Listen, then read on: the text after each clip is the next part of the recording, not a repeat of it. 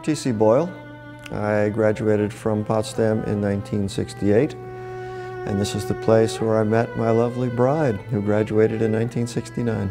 I came here in the hope of being a craney. I played saxophone and clarinet and wanted to be a musician, and I could play the hell out of that instrument, but I had no idea of rhythm or the type of music we were expected to play, and I flunked my audition, but here I am. So I declared a history major. In my sophomore year, I went in and took an English class and the American short story and discovered Flannery O'Connor, so I was a double major, history and English. I had never had any experience of writing before I came here. I had no idea that there was such a thing.